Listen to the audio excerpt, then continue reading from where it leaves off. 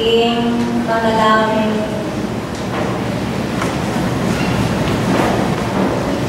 Sinitang Metronews.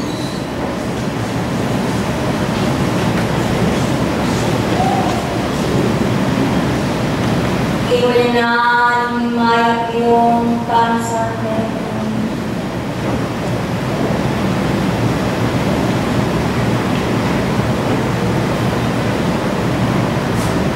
Maulakang um,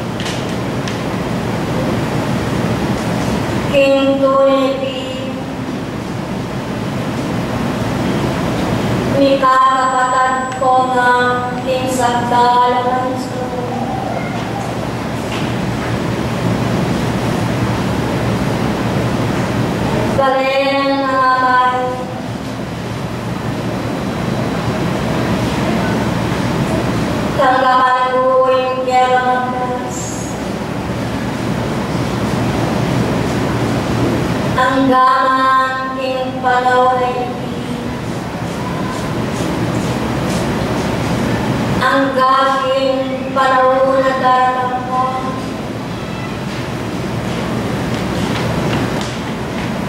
In Diyos, maging kasama mo ng sablang panahon.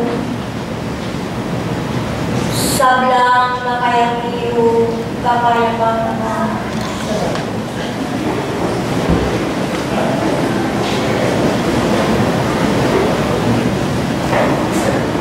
Salamat,